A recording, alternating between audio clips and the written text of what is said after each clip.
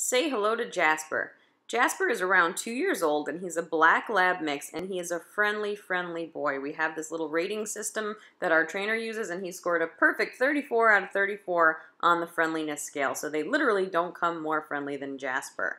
He's also a playful guy. He gets along with other dogs. He likes to be the boss when he plays, so you'd have to have a dog at home who's okay with that and has a compatible play style. But he is a lot of fun to play with if you're a dog or you're a human um, or if you're a kid around 14 and up. That's the age range we think would be perfect for Jasper because while he is super friendly, in new situations or with kids, kind of fast moving little things, he can be a little nervous. So bigger kids who understand that would be the best fit for him.